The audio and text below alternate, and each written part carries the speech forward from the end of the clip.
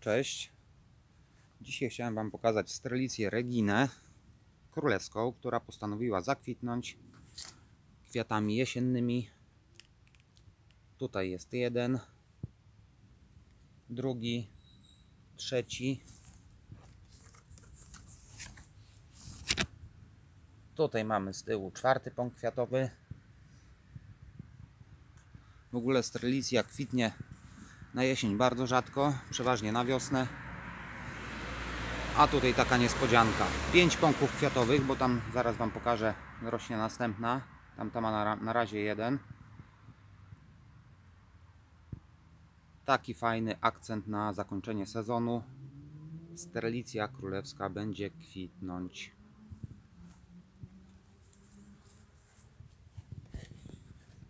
Proszę bardzo, pąk kwiatowy. Może z drugiej strony będzie lepiej widać. No lepiej.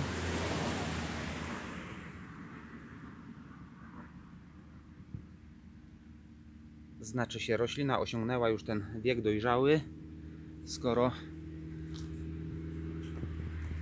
postanowiła zakwitnąć aż w tym przypadku czterema kwiatami, tutaj na razie jeden. Strelicję Nikola już znacie. O, gubi oś- ostrość. Jest. Kolejny liść wysuwa się.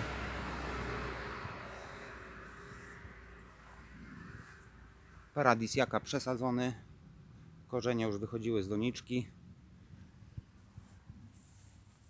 Patrzcie na basio. Jak ten odrost zasuwa. Na wcześniejszym filmie był taki malutki.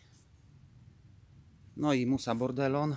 Pamiętacie jak mówiłem, że pękają cholewki i że to tylko kwestia czasu.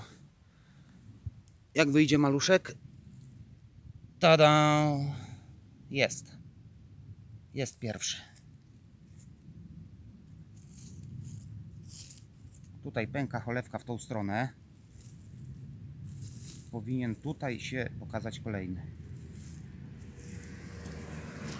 I powiem Wam, że jak co niektóre bananowce przyhamowały, no bo wiadomo, zrobiło się chłodniej, 15, 16 do 20 stopni, ten wysuwa sobie liścia, jakby sobie nic z tego nie robił.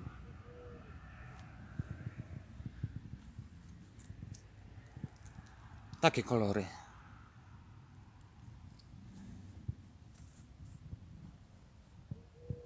No i Musa Basio. Kolejna lufa idzie.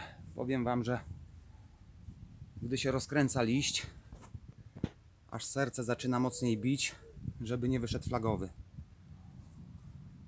Jak wychodzi taka lufa, to po prostu jest ulga. No nie chcę, żeby zakwitł na zimę i, i tyle. No i alokazja